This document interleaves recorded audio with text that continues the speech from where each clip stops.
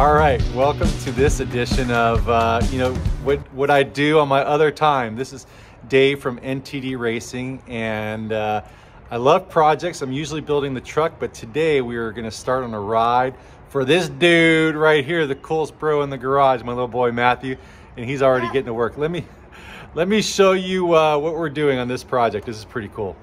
So we're gonna be um, building my own car. It'll be electric. We're right now we're taking off the stuff so we can paint it. Because like who doesn't want a painted car? And then we will after we take all the bolts out and that's what I'm doing right now. So, you know, we're just gonna be doing this for a little while. So, and just so you know, my dad's walking around. so this thing is really trick. So what we got here is uh, somebody put on Facebook Marketplace, they had a free four-wheeler that didn't work. We were able to actually put a string in here and kick the thing over. And as long as I was pouring starter fluid into the intake down here, it was running. But what we wanted to try to do, and something I haven't done before, is an electric. So I have a 48 volt, 1000 watt motor uh, with the same chain size. And then I've also got a 48 volt, 1000 watt battery pack, which is just, it looks to me to be absurd. I have no idea how much power it's gonna have, but I got a feeling that this thing is gonna rip. So our plan is right now, Matthew and I are working together. We're gonna take it all apart, Um, repaint. Dad, can you help me? I will in one second, buddy. We're gonna repaint all the parts, put it back together, modify it to take the electric motor, and then we're gonna start ripping around the uh, the neighborhood and tearing it up. So here we go. We're gonna get to it.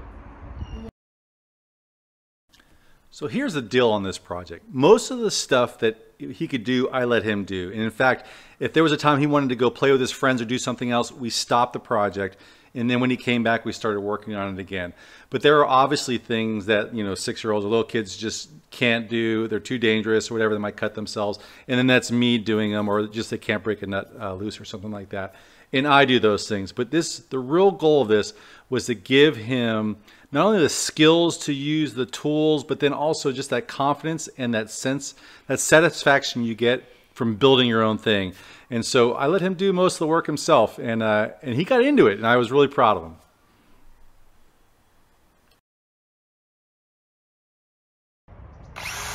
All right, getting all the big chunks off so we can shoot some spray paint on it. My boy's doing a good job over here. Spray paint on it. That's a good grinding stance right there. All right, good job, bud.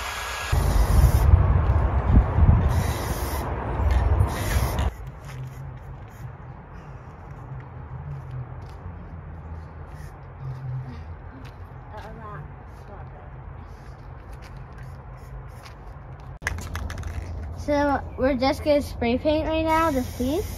We're spray painted gray. You only need like you gotta have it off and then come back on. You also have to stand from a distance, I think. Yeah. Alright. My friend's helping. Do you want to go thick or thin? Thin. Thin, right. Okay, now let's sit. It is always fun to start taking clean painted parts and putting them back together. He really, like you could see it in his face. He was just so happy that the thing was looking really good. And he picked all the colors. Like I had extra spray paint cans, so nothing, we didn't have to go buy any new cans or anything. These are spray paint cans we had around the, uh, the garage. But he picked the colors and I think it looks just awesome. And then he put it all together. And, uh, and he's just really, I think, enjoying the project.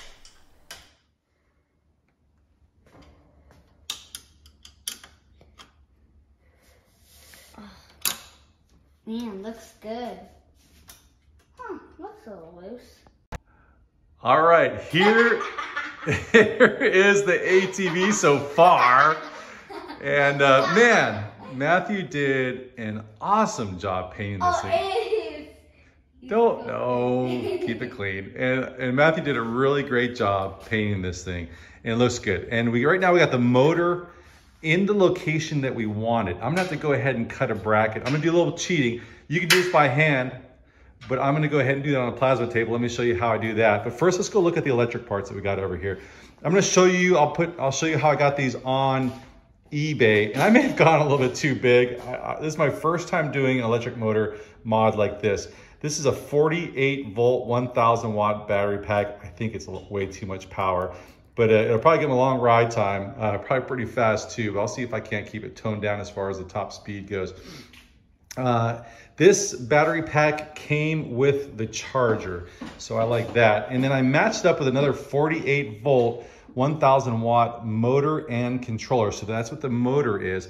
And it also came with a controller. It came with the grips and also the throttle grip.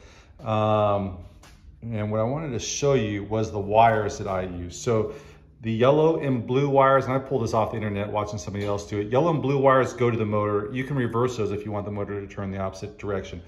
The uh, it had the red and black wires which go goes to the it goes I know I'm not the smartest cat in the world that goes to the battery and man it's a lot of juice uh, here is a red and blue wire.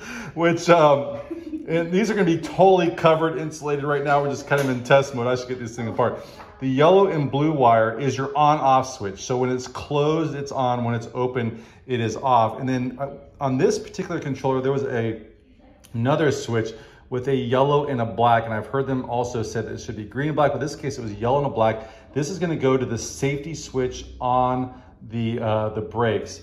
The, uh, and but besides that, after that, it's pretty obvious there. You got the three wires for the, uh, the throttle hookup. And there's a couple more wires if you want to charge uh, right there. And then also, which we're going to just use the charger that came off the side of the battery for our charging. And then also a brake light uh, battery. So, so there you go. Let's go ahead and get over the, to the computer and the plasma table and cut out the plate to mount the motor.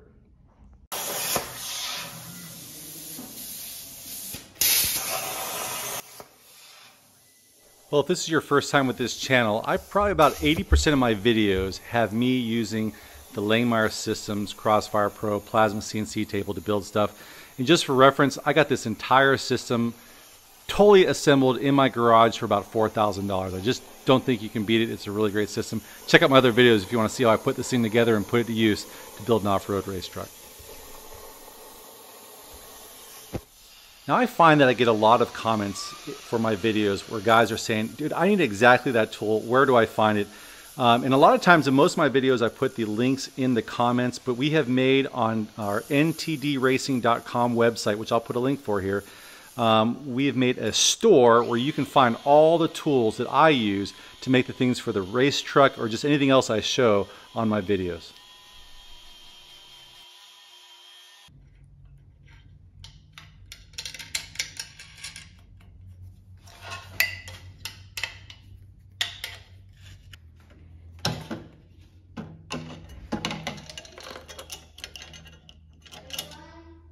Almost, bud.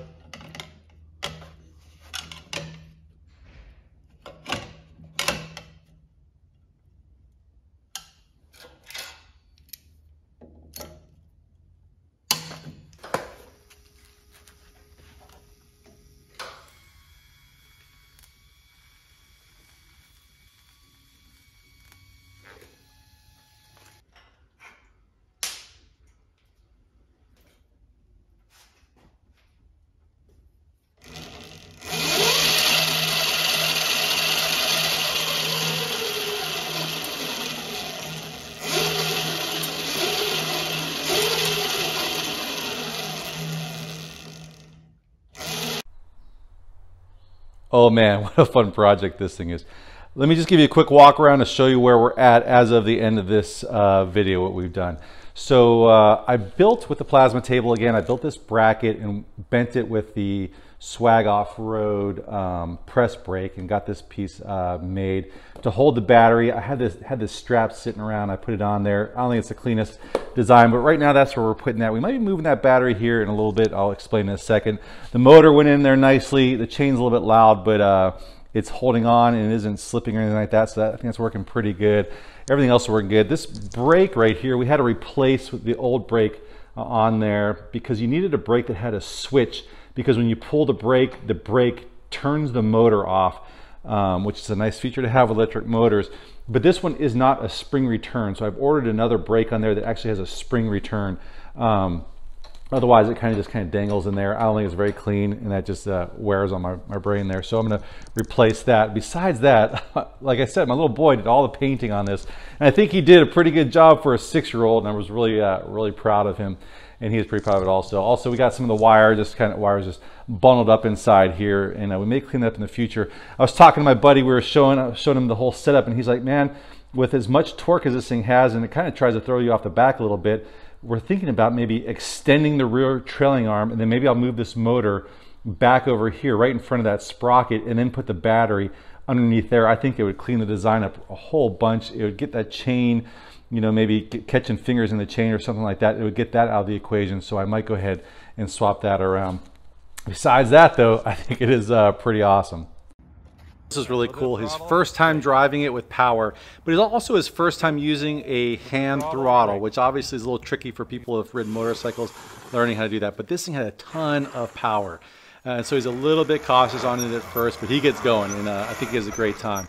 And after he's done, the parents have got to get on it to make sure that it's safe, of course.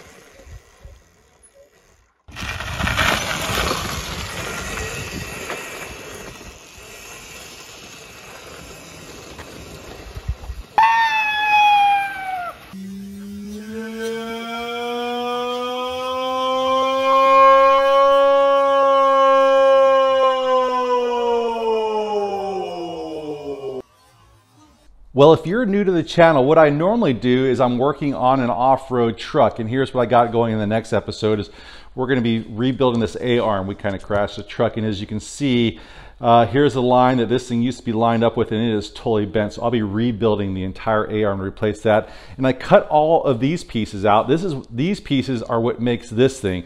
And I cut these out on the Langmuir Systems Crossfire Pro CNC plasma table over there. And I use that for just about every episode. I'm building something with that plasma table or, you know, with Bendtech and an angle grinder to make parts. And so the next episode will be me welding this thing uh, together and trying to get that truck back into running order so we can go take it and test it uh, out in the desert. Well, this project was a total blast. And this thing is so much fun to ride because it is just so fast. And maybe just a little bit too fast for a six-year-old. So I'll work on dialing the speed back with maybe some gearing and getting into the electronics of this thing to work on that. But just the fact that I was able to get him out in the garage and break him free of videos and those kinds of things, which is always the goal, and I think most parents can relate to that, is how do I make the things that I want him to do more interesting than watching video games playing video games, watching videos, and those kinds of things. I want his buddies to be in the garage, wrenching with him, and learning some real skills. In the future, I would much rather buy him a car that he can wrench on and he can learn how to do all the things that maybe I've learned how to do than buy him a video game where he's sitting in the house uh, and not learning any real skills. So for those of you that are new to my channel, this here is Honcho. It's the truck that I built for about $20,000 and raced in the Baja 1000. In the next couple of videos, I'll be going through how I fixed the stuff that we broke in the race. We'll retest the, uh, the truck and get it ready for the next Baja 1000. I have a whole library of videos where I reuse some really cool stuff. Just about every subsystem in this truck I've made a video of, of me building the, the steering, the suspension. I use the Crossfire, Langmuir Systems Crossfire Pro CNC plasma table. I use Bendtech and a couple angle grinders to make the entire custom chassis on this truck. I use a 3D printer here and there and a lot of other cool tools and budget parts that you might find useful in your own build or maybe for things that you're making in your garage. With that, please don't forget to hit the like and subscribe button and maybe ring the bell so you get notification of future episodes and I can't wait to see you then. See you in the next episode. Take care of yourself.